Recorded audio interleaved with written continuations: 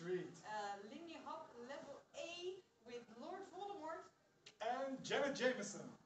This is class number 10, where we did Charleston and introduced the very cool kick the dog and then something extra. Looked like this.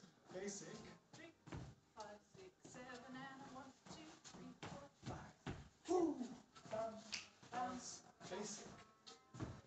So, after we did that, we took it to the open doors.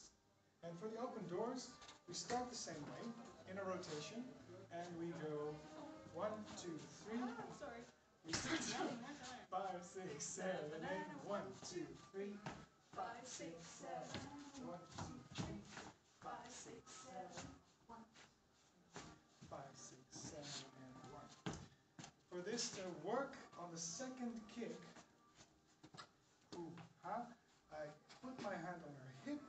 rotates outward, we create a stretch here, and our hand is low. I lean forward and kick forward, and come back. Step.